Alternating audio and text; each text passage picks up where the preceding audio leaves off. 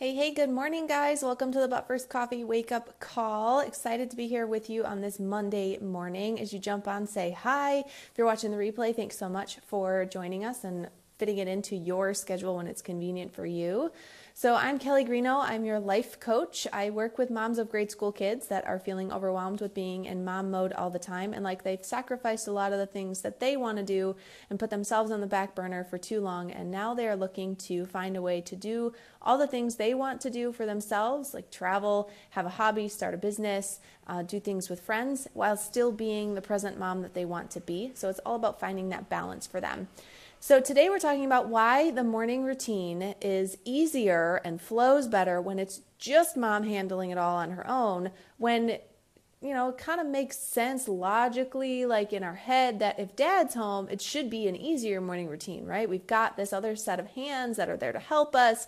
It should be a little bit easier when dad's home, but some days when dad is home and we're trying to get up and get everybody, it kind of throws a wrench into the morning routine and actually makes it harder. So I was reflecting on this and trying to figure out how I can best help you guys and serve you and helping you through that that hurdle, that bump, that when dad is home, it should still be just as easy and enjoyable. It shouldn't be um, this massive stress ball, right? It shouldn't be really stressful in the morning either, anyway. So, the things that I'm going to tell you today are the top three things to help you make your morning routine easy, even if it is just you or it is you and your spouse, or you've got family in the house, no matter who is involved, the three things that you can do to make your morning routine with the kids easier and better less stressful, totally enjoyable. Nobody is yelling at somebody saying, you know, where's your other shoe? Why can't you find your other shoe? Put your socks on, go brush your teeth. Did you brush your teeth as you're trying to close the door and they didn't brush their teeth? So you got to send them back in. Where's your lunch? Do you need your gym shoes? And it's kind of that constant rush. And starting our way that our day that way is not the best way to do it. So the top 3 things that we can do to help take the stress out of the morning even when dad is home trying to help.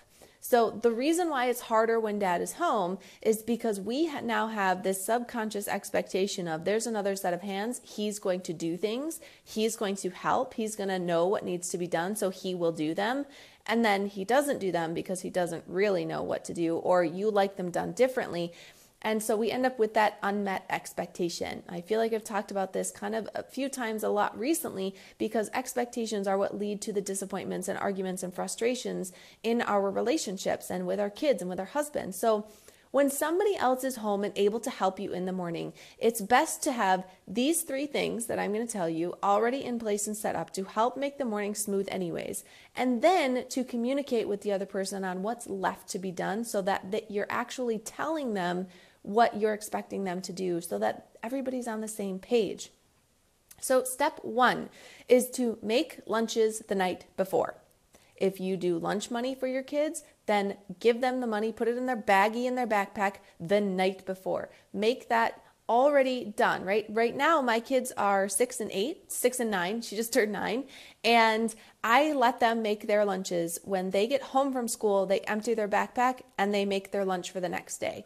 That's what they do. They know what goes in it. They're old enough now to handle that themselves. It's a great thing for them to feel responsibility, to grow up a little bit and kind of get some routine down for themselves. So that's what they do. Now, if they're not old enough to do that or you feel like they don't know what to pack, um, I highly recommend that you teach them how to pack their own lunch because then it's taking that off your plate. But you can do it for them, you know, before they go to bed or after they go to bed.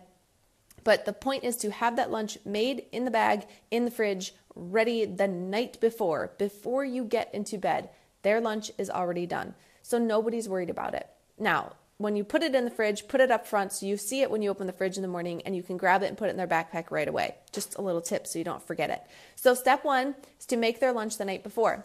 Step two is to pick out your clothes and your children's clothes the night before right? This is all about setting ourselves up for success. The easier we can make the morning, the more joyful it can be for us, the better day every single one of us will have. So set out their get their lunch made and set out your clothes and their clothes the night before. Know what you're going to wear already. Look at the weather to figure out the temperatures. Tell your kids what they've got to pick out for themselves, right? I tell my kids to do this. Like I don't pick out their clothes anymore. They can pick out their own style. If your kids wear uniforms, even better, but still have them out. Pick out the clean underwear, get the socks ready. Where are their shoes, right? Finding both shoes and having them ready. So, really teaching them to prepare and set up for themselves. So, by the time they do get to high school and college and on their own, it's not that big of a shop that they have to do this stuff. Like you're teaching them these habits and it's helping you de stress your morning. So, lunches are made and in the front of the fridge. So, when you open it, you see them.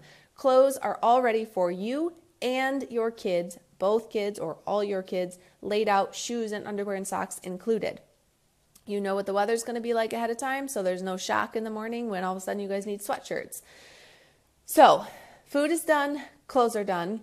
Now you're going to fix breakfast and your coffee the night before. Now, this doesn't mean brew your coffee the night before, but making breakfast and having all the breakfast stuff ready to go for the next morning is the best way to help things go smooth. So, you get up about 10 to 15 minutes, if not earlier, before the kids and you have their breakfast already made. If you're making oatmeal, make them overnight oats. If you do egg things, like make little egg bake muffin things and cook a whole tray of them all at once. Get them ready in time. If you do cereal, have the cereal in the bowl and the milk like in the fridge on the door ready to go.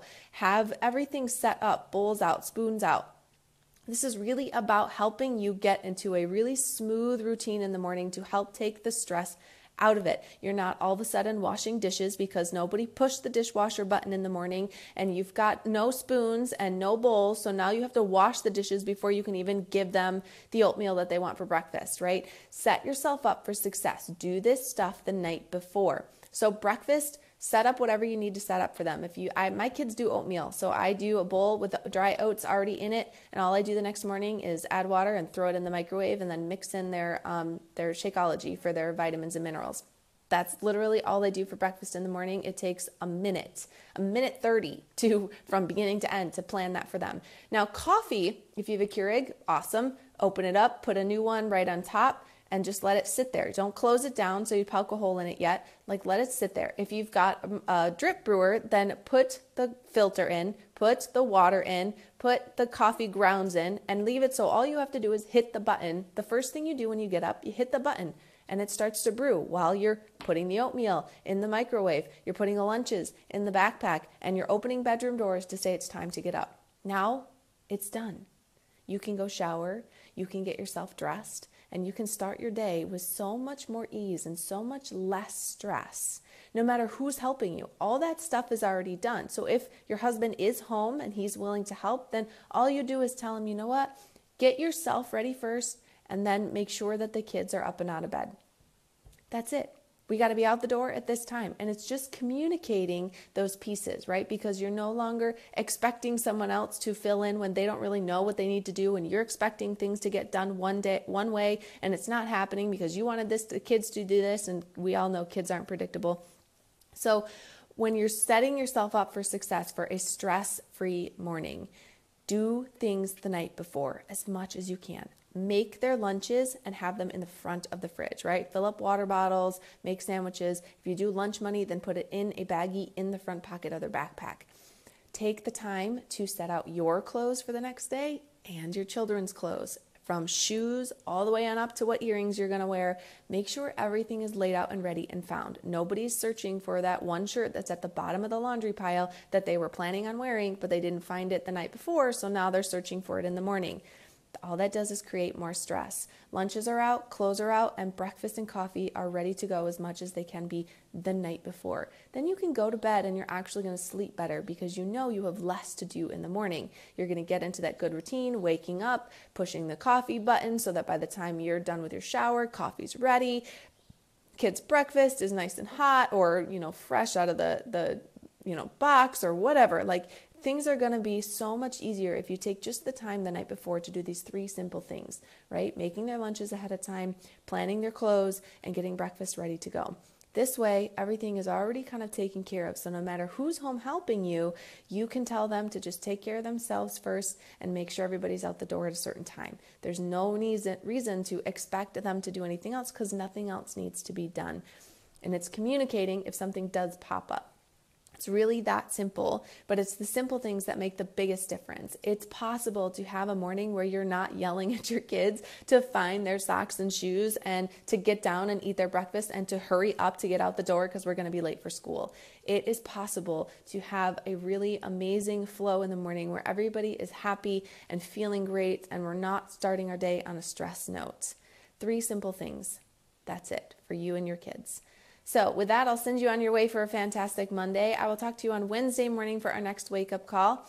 And I hope you have a fantastic rest of the week. Make sure you get things planned out so that you can start your day on the right note tomorrow morning. And I'd love to hear how it goes for you. Talk to you soon.